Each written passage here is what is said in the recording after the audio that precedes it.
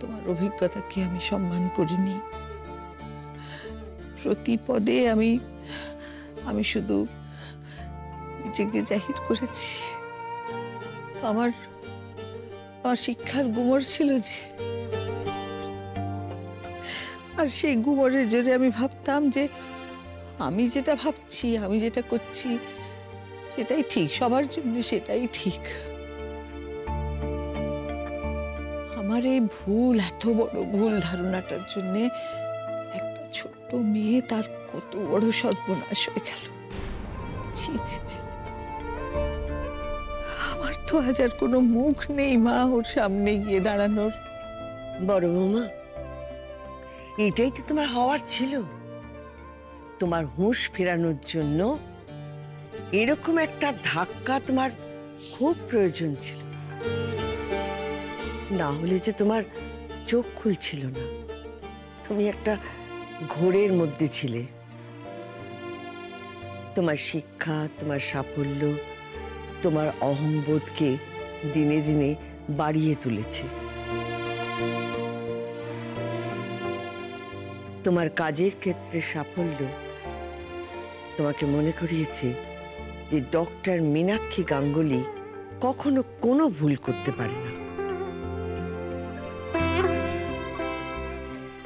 তুমি মনে করেছ তুমি মানুষ চেনো। কিন্তু না বৌমা, তুমি মানুষ চেনো না। মানুষ যদি তুমি চিনতে পারো বৌমা, তাহলে এইভাবে নিজের অহংকে মাথায় চড়তে দিতে না। এবারে কোনো মানুষকে তুমি নিজের থেকে কম ভাবতে না। আমি কারোর খারাপ ভেবে তো কিছু করিনি। আমার বিশ্বাসে আসলে মনে হয়েছে যেটা সকলের জন্য ভালো হবে, আমি আমি সেই মতো করেছিলাম। আজ আমি তোমায় কঠিন কথা বলব বড় বৌমা। তোমার অনুতাপ হয়েছে বলে আমি কখনোই বলব না যে তুমি বাড়ির মানুষদের খারাপ ভেবে কিছু করো। বা আমি এটাও বলব না যে এ তো কারও হাতেও ছিল না। আমি যদি এটা সমর্থন করি, তাহলে তো বলব আমি মিথ্যে বলছি। কিন্তু না, আমি তো মিথ্যে বলব না। আমাকে সত্যিটা বলতে হবে। তোমার দৃষ্টি পরিষ্কার করতে হবে। কারণ তোমার অহংবোধ তোমাকে অন্ধ করে দিয়েছিল। তোমাকে ভালো মন্দ সব ভুলিয়ে দিয়েছিল। মা মা থাক না। বৌদি তো স্বীকার করছে বৌদির ভুল হয়েছে। এরকম ভুল কেন হবে ছোট খোকা? যেখানে এতগুলো মানুষের এত বড় বড় ক্ষতি হয়ে যায়। যেখানে একজন একাধিক মানুষ তোমার সামনে দাঁড়িয়ে বলেছিল তুমি ভুল সেখানে কারও কথা না শুনে তুমি নিজের অহমকে কেন মূল্য দেবে? পরে সেই ভুল মানতে এতগুলো মানুষকে কেন মূল্য চোকাতে হবে? বড় বৌমা, তোমার অহমে যে ধাক্কা দেবে বা দিয়েছে, তাকে তুমি ধুলিস্বাত করে দিয়েছ। একেবারে উড়িয়ে পুড়িয়ে দিয়েছ। সবের শেষে আজ কি করে থাকল? বলো তো।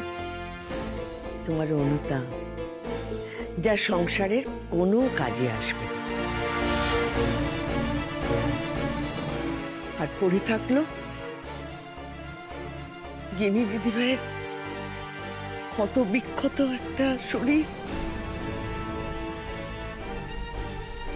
আর ক্ষত বিক্ষত একটা মন।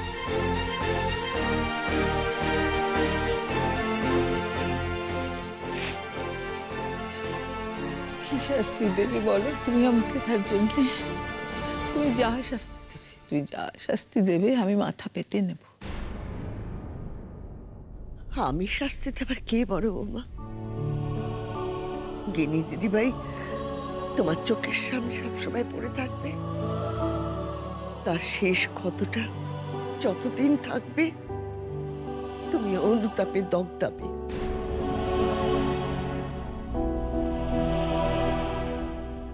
এই শাস্তি তো তোমাকে এই ওপরওয়ালা দিয়েছে। আমি কেন শাস্তি দেব? ওদিকের কাজ মিটলো? হ্যাঁ এফআইআর লজ করা হয়ে গেছে। আর লয়ার মিসেস সিনহাও চলে এসেছিলেন। আমি বলেছি যাতে ওরা দুজন কোনো রকমভাবে জেলের বাইরে পা রাখতে না পারে সেটা ইনশিওর করতে। তা উনি কি বললেন? উনি বললেন চেষ্টা করবেন।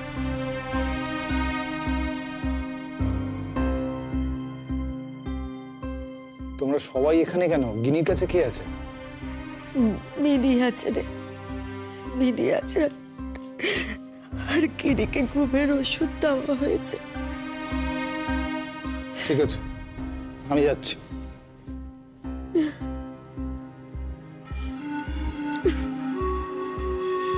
মিস্টার সিনহা অবাক হয়ে যাচ্ছিলেন বাবা আমাদের ক্যালেসনেস দেখে। মিনি ঠিক যে কথাগুলো বলছিল উনিও এক্স্যাক্টলি সেই কথাগুলোই বললেন। কি করে তোমাদের কোনো সন্দেহ হলো না? কি করে একটা মেয়ের বিয়ের পর তার কাছে কোনো ফোন নেই? তার সঙ্গে আলাদা করে কোনো যোগাযোগ করতে পারছ না? ও বাড়িতে যাওয়া আটকে দেওয়া হয়েছে। তোমাদের সঙ্গে গোটা সপ্তাহটা ওর সঙ্গে দেখা না হওয়ার ব্যবস্থা করা হয়েছে। তারপরেও আমরা যখন গেলাম, তখন ওদের বিহেভিয়ার নিয়ে আমাদের একটুও সন্দেহ হলো না কি করে? উনি বেশ অবাকই হচ্ছিলেন, কারণ ওদের প্রত্যেকটা অ্যাক্টিভিটি তো সন্দেহের। তারপরেও এতটা নিশ্চিন্তে আমরা কি করে থাকতে পারলাম? কেন কোনো কিছুই আমাদের সন্দেহ হলো না? হঠাৎ করে এতটা অন্ধ আমরা কি করে হয়ে গেলাম?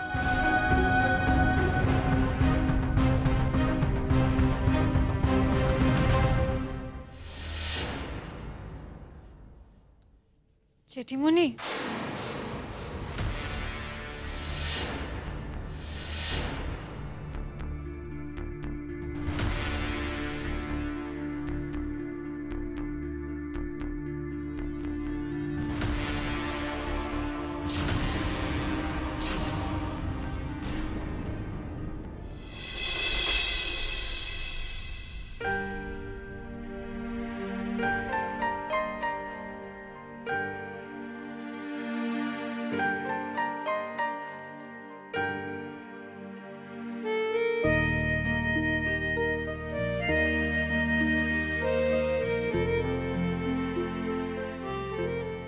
দাদা ভাই? বল। মেঘের সাথে কথা হয়েছে? না। কোনো কথা বলল না মানে বলতে চাইলো না। শুধু বলল আমাদের মধ্যে নাকি অনেক কথা হয়ে গেছে। আর নতুন কোনো কথাই নাকি নেই। যা আছে সব পুরনো কথা। পুরনো কথাগুলো সব মরে গেছে। ওই মরে যাওয়া কথাগুলোই নাকি আমাদের চারপাশে ঘুরে বেড়াচ্ছে। দাদা ভাই আমরা এত বড় ভুলটা সবাই মিলে কি করে করলাম বলতো? কেন আমরা একবারও একটু খবর নিলাম না? মেঘ এত বার করে এত রকমভাবে আমাদের বলার চেষ্টা করল আমরা কেউ বিশ্বাস করলাম না। একটু হয়তো ওর কথাটা বিশ্বাস করলে ওর কথাটা মেনে নিলে এত বড় ক্ষতি হতো না গিনির। হয়তো মেঘ বলেছিল বলেই আমরা সকলে ধরে নিয়েছিলাম যে ওর কথাটা মানা যাবে না। তার কারণ মেঘ মিথ্যে বলে, বাজে কথা বলে। মেঘের কথা মানলে তো ওকে আমাদের পরিবারে ইম্পর্টেন্স দিতে হবে। আর সেটা তো দেওয়া যাবে না। মেঘ কে আমাদের পরিবারের ব্যাপারে কথা বলার? আর ও বলেছে মানে তো সেটা ভুল, বাজে। তাই না রে? আর মিনি, এ কথা তোরাও বলতিস, মাও বলতো। আর আমিও কোনোদিন জোর দিয়ে বলতে পারিনি যে মেঘ ঠিক আর ময়ূরী ভুল।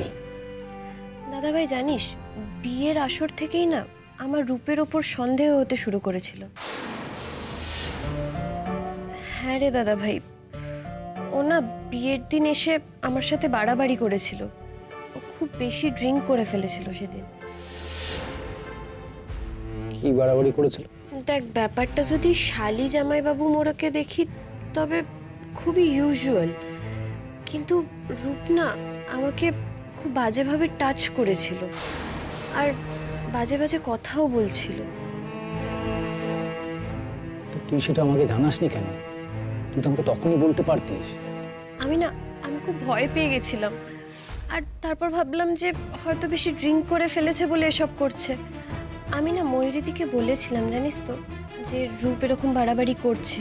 কিন্তু কিন্তু ময়ূরীদি বলল, ওদের সোসাইটিতে এগুলো নাকি খুব নর্মাল আমাদের বাড়িতে এগুলো হয় না।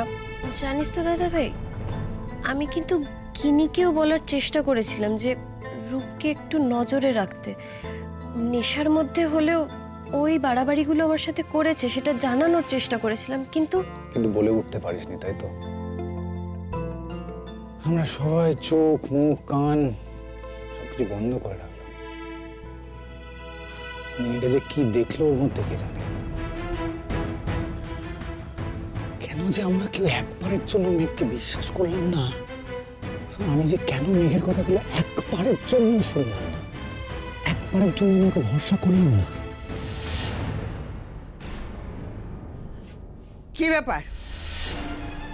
কি মনে করে তুমি আবার এখানে এসেছ? সর্বনাশ যা করার তা তো তুমি করেই ফেলেছো। নাকি এখনও কিছু বাকি আছে সর্বনাশের? আমি আমি তো শুধু একদম চুপ! আমাকে তুমি ঠাম্মি বলে ডাকবে না। আর ডাকার সাহসও দেখাবে না। আমি তোমার ঠাম্মি নই। তোমার ঠাম্মি হবার আগে আমার জন্য মরণ হয়।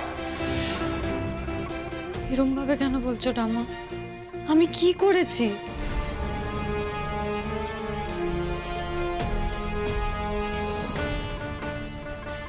আমাকে আগে বুঝতে হবে। এরা কতটা জানে আমার আর রূপের ব্যাপারে। সেই বুঝে আমাকে স্টেপ নিতে হবে। এখন বিষয়টা খুবই সেন্সিটিভ হয়ে গেছে। মাথা ঠান্ডা রেখে এটাকে হ্যান্ডেল করতে হবে। জেঠিমণি।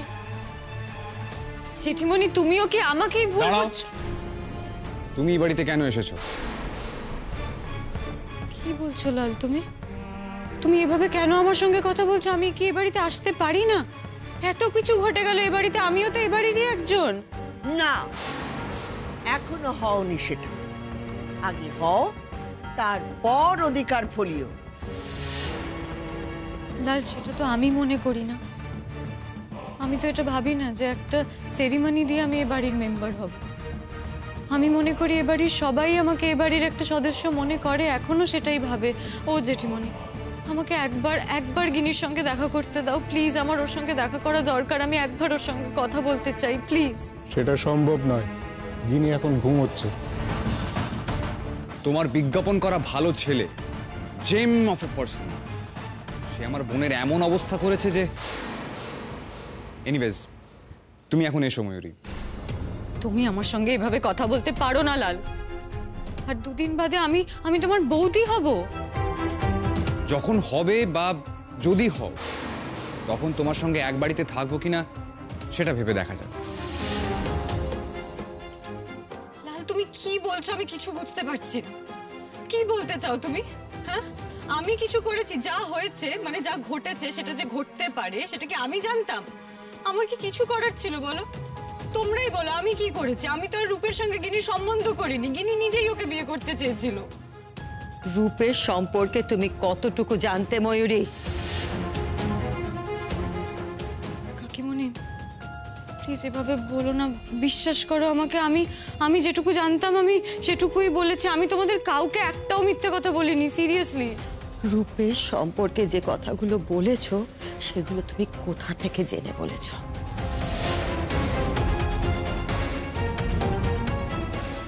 আমি মানে কাকিমণি আমি তো ওর পাড়াতেই থাকি। ওর পাড়ার লোকে ওর সম্পর্কে কি কি ভাবে বা কি কি জানে সেগুলো আমরা একটু আগে শুনে এসেছি। রূপ একটি লম্পট ছেলে। ওর পাড়ার লোকে অ্যাটলিস্ট সবাই তাই বলে। রূপ মেয়েদের সর্বনাশ করে। ওর পাড়ার লোকে সবাই অবাক হয়ে গেছিল। এটা ভেবে যে কোন ফ্যামিলি এত বোকা যে রূপের সাথে তার নিজের মেয়ের বিয়ে ঠিক করেছে? গোটা পাড়ার লোক এক কথা বলছিল ময়ূরী শুধু তুমি, একমাত্র ওই পাড়ার লোক হয়ে অন্য কথা বলছিল। কি করে ময়ূরী বলো, কি করে? কি করি আমি, জেঠিমণি? ও, তোমাদেরকে আমি কীভাবে বিশ্বাস করাবো আমাকে বলো তো? আমি যা জানতাম, আমি আমি সেটাই বলেছি। আমি একটাও মিথ্যে কথা বলিনি। তোমাদেরকে আমি মিথ্যে কথা কেন বলব? আমাকে বলো সেটা। লাল, তুমি আমাকে এ বাড়ির মেম্বার হয়তো ভাবো না, মানো না। কিন্তু জেঠিমণি, কাকিমণি, ওরা সবাই আমাকে এ বাড়ির একজন সদস্য মনে করেছে সবসময়। আমি আমি নিজেও নিজেকে এই বাড়ির মেম্বার মনে করি। এই ফ্যামিলিটা তো আমারও। পরিবারের কেউ সর্বনাশ করলে তাকে কি বলে জানো তো? তাকে বলে ঘরের শত্রু বিভীষণ। না, আমি তোমাকে সেটাও বলব না। কারণ তুমি তার থেকেও বেশি খারাপ। তুমি হলে মুখোশ পরা একজন শত্রু। জেঠিমণি, ও জেঠিমণি তুমি এরকম চুপ করে আছো কেন? প্লিজ কিছু বলো না। ওদের কথার উত্তর দাও, দেখো আমার ব্যাপারে কি সব বলছে? আমার আর ভালো লাগছে না জেঠিমণি, আমার মরে যেতে ইচ্ছে করছে এবার। আমি আর পারছি না। তুমি আমাকে বলো না, তুমি আমাকে একবার বলো যে হ্যাঁ ময়ূরী, তুমি জেনে বুঝে ইচ্ছে করে মিথ্যে কথা বলে আমার গিরির জীবনটা সর্বনাশ করেছ, তাহলে আমি মেনে নেব। আমি সত্যি মেনে নেব, আমি সব ছেড়ে চলে যাব। আমি এত দূরে চলে যাব, তোমরা জীবনেও আমাকে খুঁজে পাবে না। কিন্তু চুপ করে থেকো না জেঠিমণি, প্লিজ কিছু বলো।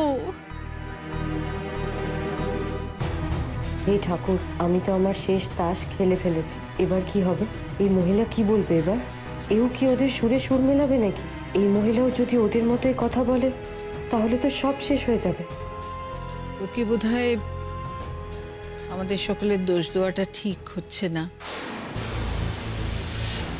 কারণ আমি অন্তত বিশ্বাস করতে চাই যে জেনে বুঝে একটা মানুষ এই রকম কাজ করতে পারে না। আর আমাদের দায়টাও তো আমরা এড়িয়ে যেতে পারি না। রূপকে তো গিনির পছন্দ হয়েছিল। আর আমাদেরও মানে আমার ছোটর মিনির ভাস্করের ওকে ভালো লেগেছিল, পছন্দ হয়েছিল। আর তাই জন্যই তো আমরা বিয়ের দিকে এগিয়েছিলাম।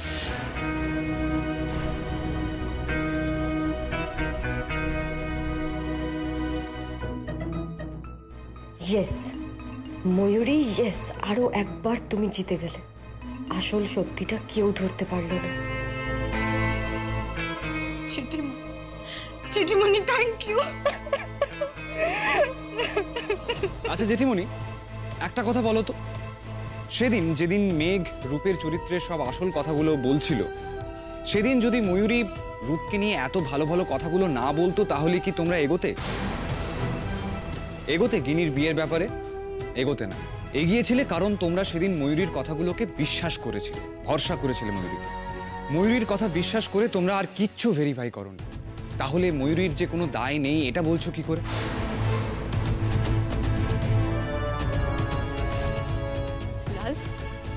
তুমি কেন বুঝতে পারছ না বলো তো? যা হয়েছে, সেটাতে আমার নীল প্লিজ তুমি তোমার ভাইকে বোঝাও। ওকে বোঝাও, ও ভুল করছে, তুমিই বলো। আর কয়েকটা দিন বাদে আমাদের বিয়ে। এই বাড়ির সঙ্গে আমার একটা সম্পর্ক হতে চলেছে, আমি কখনো এ বাড়ির কোনো খারাপ কিছু চাইতে পারি? তুমিই বলো। আমি কখনো চাইব এ বাড়ির ক্ষতি করতে? না তো। বলি আমি। আচ্ছা ঠিক আছে। তোমরা বলতে পারো যে আমি একটা অন্যায় করেছি। আমি মেনে নিচ্ছি আমি একটা অন্যায় করেছি। সেটা কি? রূপের ব্যাপারে ভালো কথা বলার আগে আমার নিজের দুবার ভেবে নেওয়া উচিত ছিল। রাইট? বাট আমি কি করে বুঝব? আমি তো ভেবেছিলাম তোমরা তোমরা সবাই মিলে গিনির বিয়ের আগে একবার তো রূপের সম্পর্কে চেকিং করবে নাকি? বাহ ময়ূরী বাহ অসাধারণ। কি সুন্দরভাবে চালাকি করে গোটা ব্যাপারটা আমাদের দিকে ঘুরিয়ে দিলে তুমি। আসল ব্যাপারটা হচ্ছে তুমি রূপের সম্পর্কে সব জানতে সব জানতে তুমি। কি- বলছো তুমি মিনি আমি কি জানতাম? তুমি জানতে না রূপ একটা অ্যালকোহলিক বিয়ের দিন গলা পর্যন্ত মদ খেয়ে এসেছিল। তুমি জানতে না সেটা? মিনি? কি বলছিস তুই? হ্যাঁ কাকিমা আমি ঠিকই বলছি।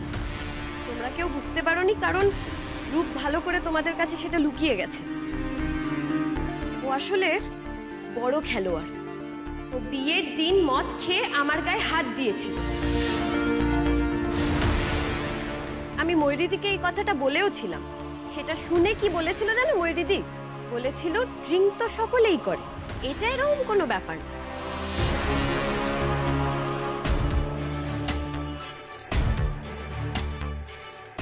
কি বলছিস কি তুই? হ্যাঁ বাবা আমি একদম সত্যি কথা বলছি। ময়ূরীদি তো রূপের সম্পর্কে অনেককে অনেক ভালো ভালো কথা বলেছিল। এই কথাটা কেন বলেনি বলো তো? যে রূপের একটা ড্রিঙ্কিং ইস্যু আছে। কাম অন মিনি প্লিজ কি বলছো তুমি? এটা একটা ইস্যু হলো নাকি? আজকালকার দিনে একটু একটু ড্রিঙ্ক তো সবাই করে। আমি সেটা বলেছিলাম যে এটাকে অত বড় ইস্যু বানানোর মতো কিছু হয়নি। ও আচ্ছা। একটু আধটু ড্রিঙ্ক করে, শালির কোমর ধরে, অশ্লীল কথা বলাটা বোধহয় কোনো ইস্যু নয়। ময়ূরিদি আমি না সেদিন ভয়ে নাম হয়ে গেছিলাম। আমি তোমাকে দু তিনবার বলারও চেষ্টা করেছিলাম আর তুমি তখন কি বলেছিলে? কাউকে এই কথাটা যেন না বলি। কেন বলেছিলে? কেন লুকোতে বলেছিলে এই কথাগুলো সবার থেকে? রূপ কি রেগুলারলি ড্রিঙ্ক করে এরকম? মানে ও কি অ্যালকোহলিক আচ্ছা বুঝলাম মিনি আমি তোমাকে লুকোতে বলেছিলাম আর তুমি লুকিয়ে ফেললে। তোমার যখন এতটাই খারাপ লেগেছিল এতই টেনশন হচ্ছিল তো সবাইকে জানালে না কেন? তুমি লোকালে কেন? কারণ আমিও সেই একই অসুখে ভুগছিলাম, যেই অসুখে মা আর কাকিমুনি ভুগছিল। তোমাকে বিশ্বাস করার অসুখ। তুমি যা বলো সেটা ঠিক, সেটা মনে করার অসুখ। আর সেই মনের অসুখে মেঘের বলা কথাগুলো আমরা মানি না